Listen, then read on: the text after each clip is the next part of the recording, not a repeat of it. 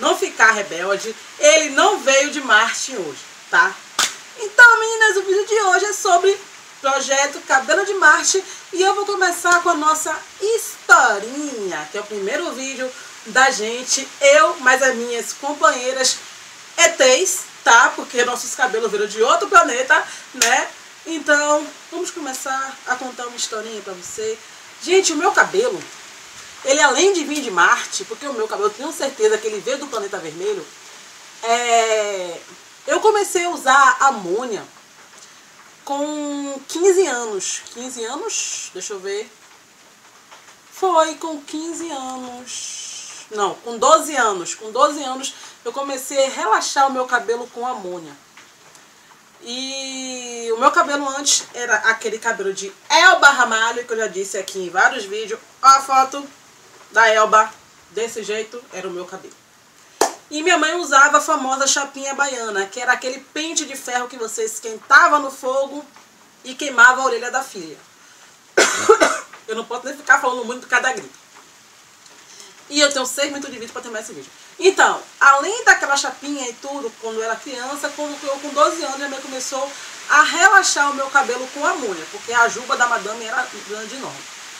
E eu fui relaxando meu cabelo com amônia até os meus 28 anos. Eu tenho 32 anos, então até os meus 28 anos eu relaxava o meu cabelo com amônia.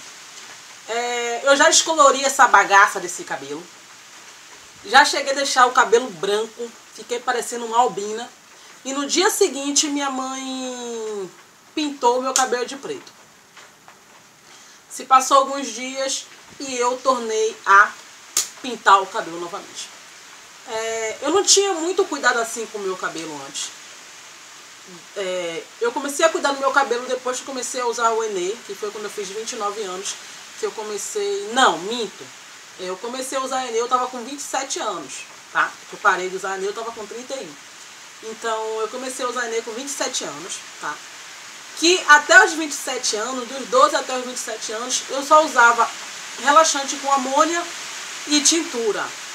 É, eu já cortei o meu cabelo aqui assim, tá? Que foi um corte que fizeram no meu cabelo, que meu cabelo demorou mais de 5 anos para ele crescer. O meu cabelo, para estar tá nesse tamanho aqui, demorou mais de 5 anos para ele estar tá nesse tamanho. E o celular, o zap acha de querer falar comigo agora e começa tudo.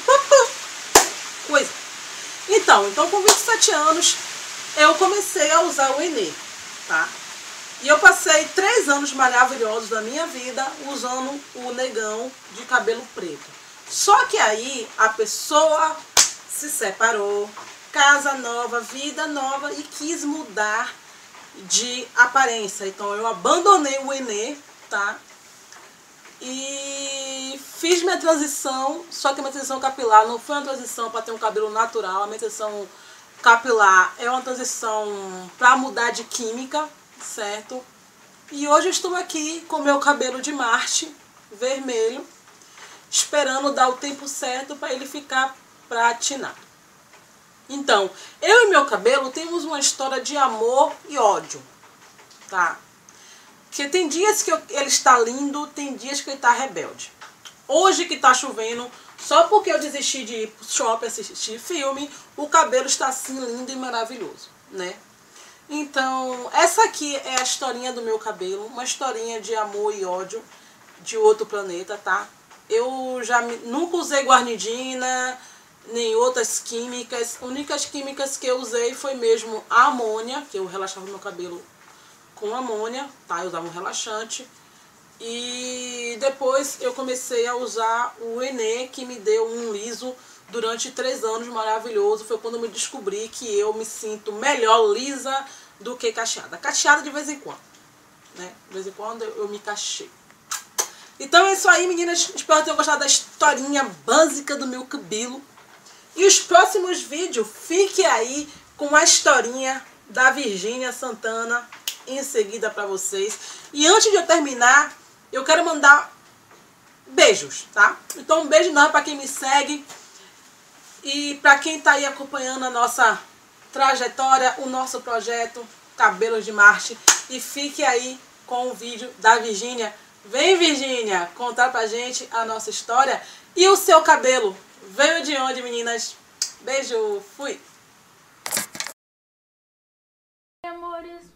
Virgínia do blog Simplesmente 40, tá?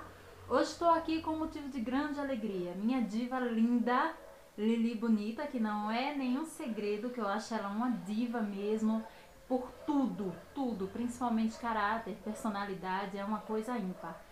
Me convidou e convidou a outras youtubers, independente de como tenham mantido seu cabelo, a falar de cabelo, que é uma coisa que a gente ama, que move é, canais, que movem blogs, porque até as mais famosas blogueiras um dia param para falar do seu cabelo, né? Independente do que elas façam, do que elas usem no cabelo. E o projeto tem um nome que tinha que ser assim, a Lili que tinha que colocar esse nome, né? Que é Cabelo de Marte. Mas pensando direitinho, gente, é, é o que o nosso cabelo é. É um ser desconhecido que tem vida própria. Eu amo aqueles postzinhos que se coloca no Face, tipo assim, é, meu cabelo é, tem vida própria. E se eu der um, um, colocar um shampoo que tem vida, é o que dá vida, ele me mata, algo desse tipo, né? É, eu nasci com o cabelo assim, do jeito que vocês estão vendo, meu cabelo tá virgem, né? Muitas de vocês acompanharam aqui o meu Big Shop ao vivo. E vivi muito tempo com esse cabelo desse jeito, tá? Agora tenho históricos de química. Quando fui morar no Rio de Janeiro, entre 6 e 7 anos, minha mãe descobriu o Enei, era uma febre. Né, gente? Década de 70, finalzinho começando 80, era o Enemaru, caixinha, mulherzinha lá na frente, ainda era desenhadozinho, não era nem foto. E nossa, eu tinha muito cabelo, eu tinha cabelo para 10 cabeças, minha mãe grávida, sem paciência de, de pentear. Então descobri o Enê e o Enê se tornou a oitava maravilha do mundo na minha vida, né? Eu, uma criança que tinha um cabelo abaixo, assim, na altura do, do peito e com muito cabelo, era um volume extraordinário. Então, nossa, só não ter minha mãe arrancando sem fios a cada passada de pente na minha cabeça paraíso, né? Só que aí voltamos para Recife, minha mãe parou de usar Enê porque não era uma coisa típica de lá. O Enê ele sempre foi uma grande descoberta das cariocas. Elas sempre tiveram esse privilégio de ter todas as marcas, né, tudo pertinho e tudo de bom. Então, é, o, o final da minha infância para o começo da adolescência eu não me preocupava muito com isso. Até que começa aquelas piadinhas, né? Com o cabelo da gente. A gente que tem cabelo cacheado, cabelo volumoso, eu peguei piolho, aquela praga. Escondi embaixo da cama, da mesa, pra minha avó não catar. Então, é, eu resolvi que ia começar na amônia em 13, 14 anos, porque eu usava o cabelo muito curtinho por causa do piolho. Então, assim, desse jeitinho mesmo que vocês estão vendo. Então eu resolvi que ia passar amônia para poder os cachos irem descendo. E foi assim, até a data que eu resolvi fazer outro Big Shop. E que foi quando eu cheguei aqui em Sorocaba. Eu usava o, o a amônia de 6 a 8 em 8 meses, não tirava caixa, vocês já cansaram de ver né? É, fotos minhas aí, tem até um vídeo aqui no canal que é, se chama Lá Vem o Negão, no meu canal, né? E que eu mostro muitas fases minhas e todas as que eu tô de cacho tem o, o, a amônia. Menos em uma que eu tô de camisetinha vermelha abraçada com o Nicolas. Eu já tô aqui em Sorocaba e já tinha cortado o cabelo. E resolvi partir na empreitada pelo Enem. E não funcionou, gente. Infelizmente, vocês já estão carecas de saber a minha história com o Enei. Infelizmente, não deu certo. Mas, assim, o tempo que eu usei, que foi eterno enquanto durou, foi muito bom. É, me deu uma liberdade, o cabelo ganhou um brilho, ganhou um balanço. Nossa, sem comentários. Mas eu acho que tudo tem um porquê. Né? E um pra quê, principalmente. Eu costumo sempre dizer que a gente não tem que perguntar a Deus o porquê, tem que perguntar o pra quê. E esse, essa trajetória é, desencontrada com o Enê me deu a oportunidade de lembrar de como era o meu cabelo, de voltar às origens e de ter certeza que eu amo os meus cachos e quero ficar. A questão é, não interessa se você ama os teus cachos, se você não quer os teus cachos, se você é crespa, se você já nasceu lisa, se você dá progressiva, se você dá guanidina. O que interessa é que você se olhe no espelho como eu faço agora e se enxergue e se ame. E ame aquela figura que você tá vendo. Independente da química que você usa ou não. Cabelo ele é seco, ele é oleoso, ele é misto. Ele é perturbado, ele fica branco. Sabe? Nós temos muitos pontos em comum, gente, em relação a cabelo tá? Hoje eu me olho, eu me enxergo, eu me reconheço, eu tô me amando desse jeito, mas eu já tinha o histórico de ter passado toda a minha vida com meu cabelo desse jeito, né? Foram poucas as oportunidades que eu usei é, química e a amônia, a única que tirou a minha química foi o Enei quando eu era criança. Gente, eu já passei dos 40. Então eu já nem lembro mais qual era o efeito que fazia naquele período. E a amônia eu nunca usei para tirar os cachos. Até porque meu cabelo é muito difícil. Tanto que vocês podem ver, né? Ele tá aqui com um simples cremezinho, que nem é um creme para cachear. Deixa eu mostrar para vocês. Eu comprei um produto, um shampoo pro meu marido e veio esse creme. Tá?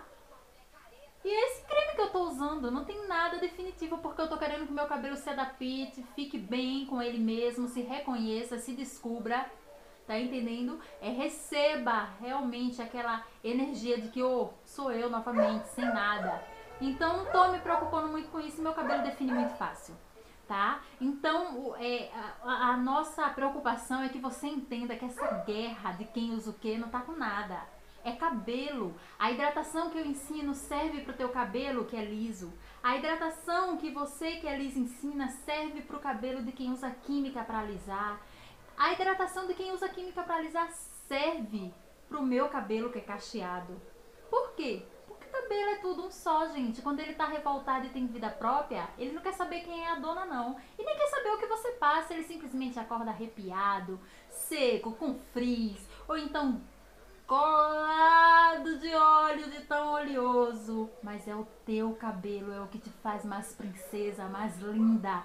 Então o problema só é a falta de intimidade. Tenha intimidade com seu cabelo, independente do que você use. Como eu sempre digo, você e o seu cabelo merecem muito, mas muito respeito. Beijo e até a próxima.